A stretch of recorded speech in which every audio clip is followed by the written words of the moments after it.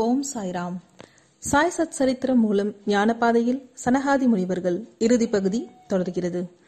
ஆதியில பரமேஸ்வரன் பஸ்மாசுரனுக்கு வரம் தந்திருந்தார்.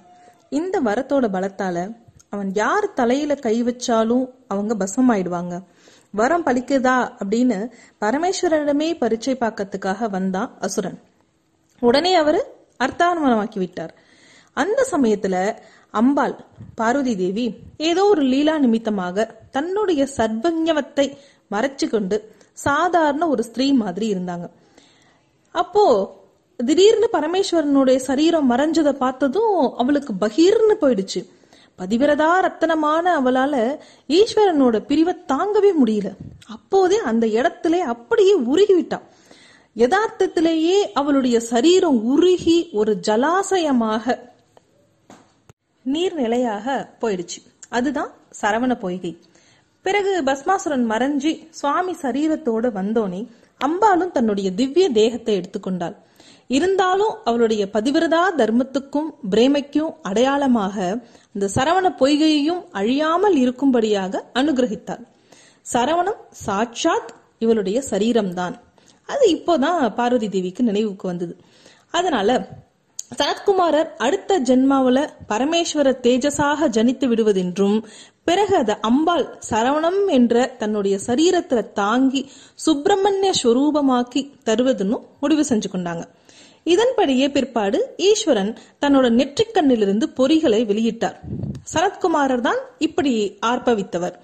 இந்த தேஜஸின் உக்கிரத்தை யாராலையுமே தாங்க முடியல. முதல்ல கங்கை தாங்க பார்த்தா முடியல. அப்போ பிரம்மா அவளிடம் இதை கொண்டு போய் சரவணத்துல சேர்த்து விடு என்றார். ஆனானப்பட்ட என்னாலேயே தாங்க முடியாத உக்கிர ஜுவாலைய அந்த சின்ன பொய்கை எப்படி தாங்கும் அப்படின்னு கங்கா அவரை பார்த்து கேட்டாள். அவர் சரவணம் என்பது சாக்ஷாத் பராசக்தியின் சரீரமாகும். அது ஒன்றாலேயேதான் ஈஸ்வரனுடைய தேஜஸையே தாங்க முடியும் என்றார். இதன்படியே கங்கை செய்ய சரவணபவனாக முருகன் அவதரித்தான்.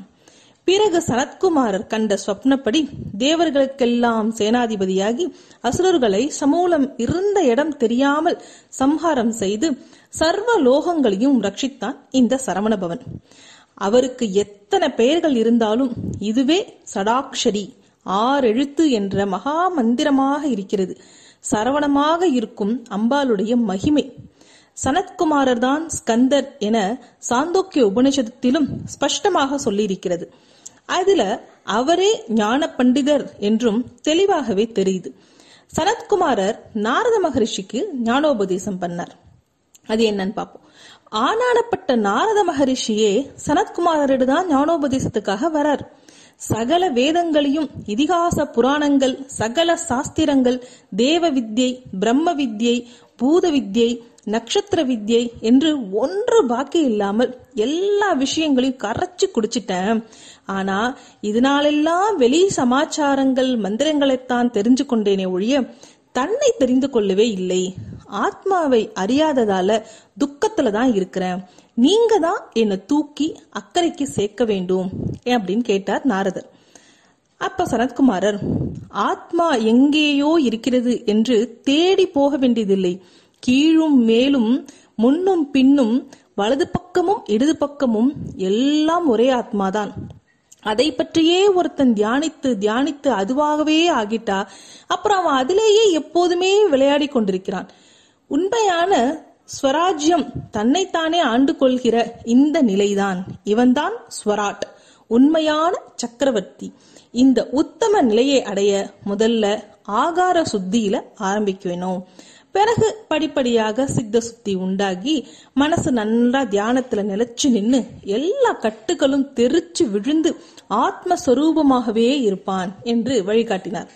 இப்படியாக பகவான் சனத்குமாரர் இருள் கடந்த நிலையை காட்டினார். அவருக்குத்தான் ஸ்கந்தன் என்று பெயர் அவருக்குத்தான் ஸ்கந்தன் என்று பெயர் என்று உபனிஷத்து இரண்டு தடவை முத்தாய்ப்பு வைக்கிறது. இருள் கடந்த ஒளி ஞானாக்னி முருகன்தான். அதைத்தான் சாந்தோக்கியம் சொல்கிறது. முற்றும்.